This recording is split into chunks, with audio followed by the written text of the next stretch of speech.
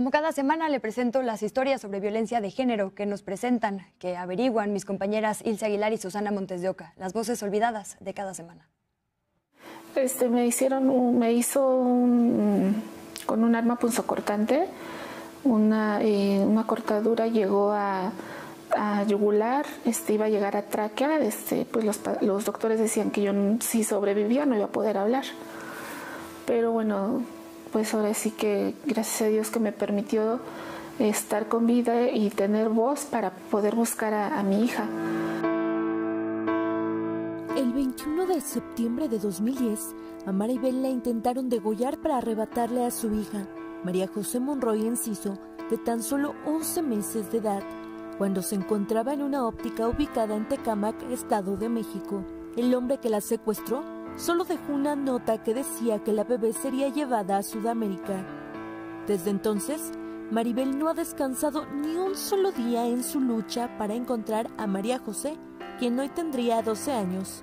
Mientras yo me estaba debatiendo entre la vida y la muerte, este, pues nadie buscaba a María José porque no existía la alerta Amber.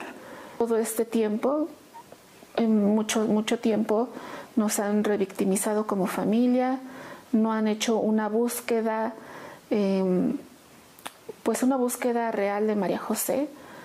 La familia ha cambiado seis veces de Ministerio Público porque aseguran no hay compromiso por parte de las autoridades del Estado de México. Y aunque el agresor está sentenciado a una condena de 83 años en prisión por los delitos de privación de la libertad de la bebé, intento de homicidio de Maribel y por la violación de una menor de 14 años, aún no hay paradero de María José. A la fecha no ha querido hablar con la verdad, no ha querido decir en dónde está mi hija. Él dice que atentó, atentó contra la vida de María José. Sin embargo, una revisión de toda la carpeta de investigación realizada por la Unidad de Análisis y Contexto de la Fiscalía dio como resultado que María José es víctima de trata de personas con fines de adopción ilegal.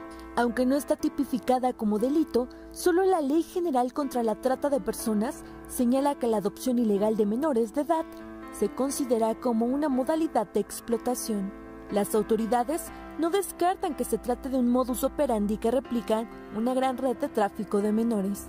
De acuerdo con la Red por los Derechos de la Infancia en México, el 20% de las desapariciones se registran en Edomex, Actualmente en México hay 7.961 casos de niñas, niños y mujeres adolescentes desaparecidas. Pues tratamos de que también sea en otros idiomas, ¿no? Porque María José puede estar en el país, pero también puede estar en otro país. Y lo que queremos es que, pues, que se haga más grande la difusión para poder encontrarla, ¿no? Quiero pedirle apoyo a la, a la sociedad, este, que nos ayuden a compartir la foto de María José. Si usted ha visto a María José Monroy Enciso, quien tiene actualmente 12 años de edad, de piel morena clara, como seña particular tiene un lunar café en forma de mancha en una de sus manos y antecedentes de epilepsia, o sabe sobre la adopción irregular de una bebé entre el año 2010, puede comunicarse a la Fiscalía General de la República al número 800 00 85 400 o al correo has visto fgr.org.mx. Hay una recompensa de un millón y medio de pesos para quien aporte información que ayude a su localización. Con imágenes de Juan Carlos Arriaga y Susana Montes de Oca, para la octava, Ilse Aguilar. Ella pues ya no me recuerde, ¿no? Porque fue a los 11 meses cuando fue sustraída.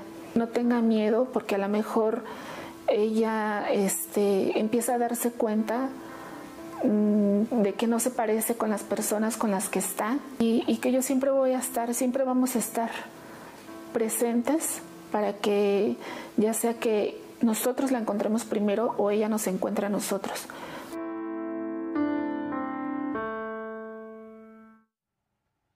No soltamos estos temas. Gracias, Ilse, y gracias, Susi.